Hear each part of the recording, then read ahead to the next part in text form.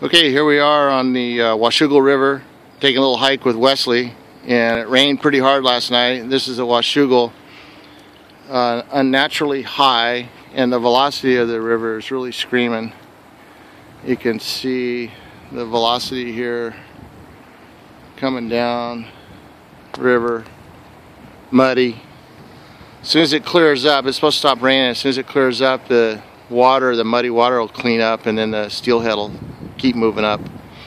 It's uh, January 17th, thereabouts, and uh, winter steelhead's running right now. So a little bit of duck and some wildlife. Here's the bridge that we walk over.